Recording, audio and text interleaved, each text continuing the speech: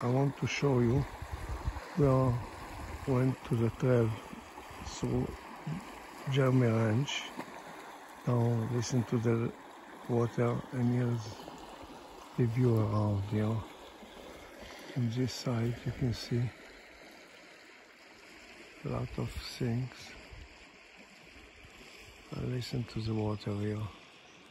The snow start to melt so there is a lot of water here around.